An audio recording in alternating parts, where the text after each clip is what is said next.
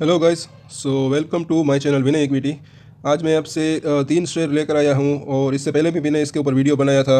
और अभी भी ये शेयर वहीं पर है। अभी भी मौका है, चालीस रुपये पर है एनबीसीसी का शेयर। सबसे पहले मैं आप सबसे रिक्वेस्ट करूँगा कि दिल से अगर आपको ये वीडियो अगर अच्छा लगे, इसके अंदर एक अच्छी जानकारी मिले तो सबसे पहले तो आप स्किप मत कीजिए पूरा वीडियो देखिए और इसको लाइक कीजिए और अपने सारे ग्रुप्स के अंदर इसको शेयर कीजिए। मेरे चैनल को सब्सक्राइब कीजिए। मेरे दूसरे जो लॉन्ग और शॉर्ट्स वीडियो है, शॉर्ट वीडियो आप देखिए, लॉन्ग वीडियो देखिए। अगर आपको अच्छा लगे तो इसको शेयर ज़रूर करें।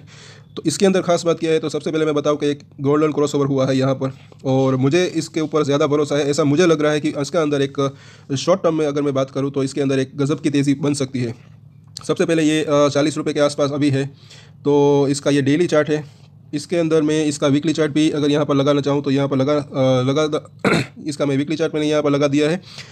तो यहाँ पर इसको ऊपर जाने में थोड़ी सी दिक्कत हो रही है और ये मैंने अपने पिछले वीडियो में भी बताया था कि थोड़ा सा टाइम लग सकता है, थोड़ा सा मतलब कि 10-15 दिन या 20 दिन तक, क्योंकि यहाँ पर एक जो है 200 वीक का मूविंग एवरेज है, ये वीकली चार्ट है।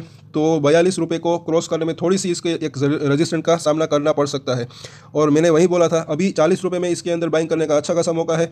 बाकी अगर जैसे ही ये बयालीस को क्रॉस करेगा, ये मैं यहाँ पर लिख देता हूँ जो कि टारगेट इसके लिए आप इसको नोट ज़रूर कर लें कि फोर्टी सिक्स रुपीज़ सबसे पहले ये जा सकता है। उसके बाद देखें तो पचास रुपये उसके बाद फिफ्टी फोर रुपीज़ ये तीनों टारगेट इसके अंदर आने वाले समय में आ सकते हैं। आप जब भी चाहे इसके अंदर प्रॉफिट बुक कर सकते हैं। स्टॉप लॉस क्या रहेगा? ये भी मैं आपको सजेस्ट करता हूँ कि इसके अंदर अगर आप चाहें तो मार्केट के अंदर हालाँकि थोड़ा सा एक कंसोलिडेशन हो रहा है, एक नीचे जा रहा है, ऊपर जा रहा है तो उस वजह से अगर आप इसके अंदर चाहे तो दो टुक, अगर बाई करना चाहे तो दो टुकड़ों में बाइंग कर सकते हैं। मतलब कि अगर आपको सौ शेयर लेने हैं तो आप पचास पचास करके बाइंग कर सकते हैं। दो, तीनों ही शेयर के अंदर अगर आप बाई करें तो ऐसे ही करें। मैं हमेशा यही बोलता हूँ क्योंकि ये सबसे सही रास्ता है।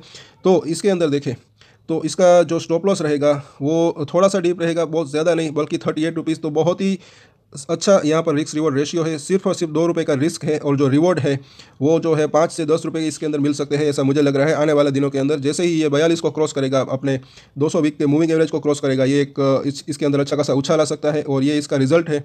इसके अंदर आप देखें तो क्वार्टर ऑन क्वार्टर देखें तो ये सितंबर क्वार्टर से इस क्वार्टर का रिज़ल्ट देखें। सबसे पहले रेवेन्यू के अंदर देखें तो पंद्रह परसेंट के आसपास की बढ़त और जो प्रॉफिट है नेट प्रॉफिट यहाँ पर भी आप देख सकते हैं ये नेट प्रॉफिट उसके अंदर पचास परसेंट के आसपास की बढ़त तो काफ़ी अच्छा खासा इसके अंदर इसका रिज़ल्ट है। तो इसके अंदर आप बाइंग कर सकते हैं अगर करना है तो।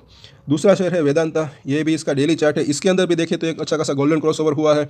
जिन लोगों को नहीं पता, उन लोगों को मैं बता दूँ कि जो 200 दिनों का मूविंग एवरेज को जब 50 दिनों का मूविंग एवरेज जैसे क्रॉस करता है, उसको गोल्डन क्रॉसओवर कहते हैं। और तब जो है आगे चलकर शेयर के अंदर एक बढ़िया सी तेज़ी आ सकती है।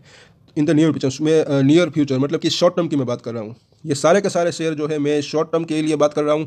ये मतलब कि लॉन्ग टर्म की मैं बात नहीं कर रहा हूँ। लॉन्ग टर्म के लिए ये शेयर नहीं है। और अगर इसके अंदर देखें तो यहाँ पर एक अच्छी खासी तेज़ी आई, फिर अब कंसोलिडेशन हुआ है। और अभी तक जो मैंने पिछले वीडियो में बताया था, वो जो स्टॉप लॉस है, वो हिट नहीं हुआ है, ना ही इसमें और ना ही पहले वाले एन वाले शेयर के अंदर। तो इसके अंदर मैंने स्टॉप लॉस सजेस्ट किया था। अभी मैं वही स्टॉप लॉस सजेस्ट करूँगा। अभी इसका करंट मार्केट प्राइस तीन सौ सात रुपये है। तो इसके अंदर देखें तो आप दो सौ से 290 का आप एक स्टॉप लॉस ले सकते हैं, छोटा सा स्टॉप लॉस है। आप यहाँ पर देख सकते हैं कि केवल और केवल 10 से 15 रुपए का रिस्क है।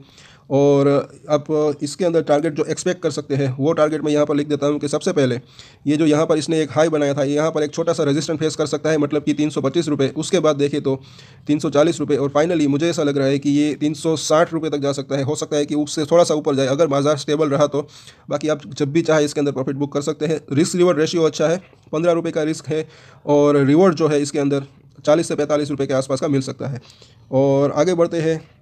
ये इसका जो है वीकली चार्ट है, इसके अंदर भी देखें तो आप देख सकते हैं कि यहाँ पर सिर्फ़ मैंने बताने के लिए ये लंबा चार्ट लगाया है कि ये 440 के एक हाई बनाने के बाद इसके अंदर एक करेक्शन आया था, फिर अब इसके अंदर एक तेज़ी आ रही है।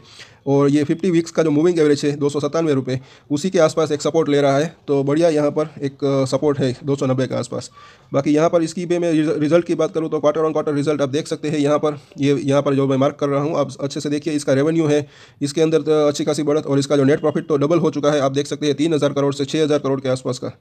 और चलिए आगे बढ़ते हैं, सुजलोन एनर्जी। इसके अंदर मैंने बाइंग की इससे पहले भी वीडियो बनाई थी। यहाँ पर जब ये दस रुपये था, मैंने बोला था कि ये सवा नौ रुपये के आसपास, नौ रुपये पच्चीस पैसे या फिर नौ रुपये तीस पैसे के आसपास आए। आप इसके अंदर भी स्टेगर्ड बाइंग करें, यानी कि दो टुकड़ों में बाइंग कर सकते हैं। अगर आपको सौ शेयर लेने तो पचास पचास करके, तब इसका प्राइस जो है नौ रुपये अस्सी पैसे था। और उसके बाद इसने नौ रुपये तीस पैसे के आसपास गया और आज इसके अंदर फिर से एक तेज़ी आई। और इसके अंदर देखें तो मुझे ऐसा लग रहा है कि इसके अंदर भी बाइंग की जा सकती है, क्योंकि यहाँ पर अच्छा खासा वॉल्यूम बिल्डअप हुआ, अच्छी खासी तेज़ी आई। और अभी बजट सीज़न आने वाला है तो हो सकता है कि ये जो रीन्यूएबल एनर्जी है, उसके ऊपर कुछ अच्छे खासे गवर्नमेंट की अगर कुछ पॉलिसी आए तो इसके अंदर एक तेज़ी बन सकती है। लेकिन इसके अंदर देखें तो सबसे पहले स्टॉप लॉस की मैं बात करूँगा। स्टॉप लॉस जो रहेगा, वो आठ रुपये पचास पैसे से लेकर आठ रुपये तक का स्टॉप लॉस लेकर आप चल सकते हैं। आज, कल इसके अंदर मतलब कि शुक्रवार को अच्छा खासा इसके अंदर बाइंग अपॉर्चुनिटी थी, मेरे तब वीडियो बनाया था, लेकिन अभी ये शेयर इतना सस्ता मतलब कि बहुत ज़्यादा महँगा हुआ नहीं है। और इसका टारगेट क्या हो सकता है, उसके बारे में मैं अगर बात करूँ तो सबसे पहले तो यहाँ पर जो इसने ये हाई बनाया था, ये है दस रुपये अस्सी पैसे। सबसे पहला टारगेट यही रहेगा मतलब कि यहाँ से एक रुपया ऊपर, और उसके बाद जैसे ही इसको ये क्रॉस करेगा, मुझे ऐसा लग रहा है कि क्रॉस क्रॉस कर देगा तो ये बारह रुपये तक जा सकता है। तो सबसे पहले दो जो है टारगेट यहीं रहेंगे। और उसके बाद की मैं शॉर्ट टर्म की मैं बात कर रहा हूँ कि अगर बाई चांस ये बारह रुपये का पार करता है तो इसके अंदर ज़्यादा तेज़ी भी आ सकती है। इसके लिए मैं ये वीकली चार्ट लाया हूँ। इसके अंदर देख सकते हैं कि यहाँ पर ये बारह रुपये एक अच्छा खासा तगड़ा रजिस्टेंट इसके अंदर इसका सामना करना पड़ सकता है।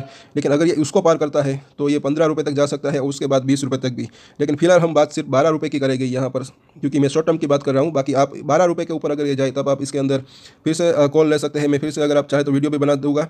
और यहाँ पर देखें तो आप हाफ़ क्वांटिटी आधी क्वांटिटी बेच कर निकल सकते हैं और फिर ट्रेलिंग स्टॉप लॉस मतलब कि ग्यारह रुपये के आसपास का स्टॉप लॉस लेकर आप इसके अंदर होल्ड कर सकते हैं, अगर इसके अंदर तेज़ी आती है तो। और ये इसका रिज़ल्ट है।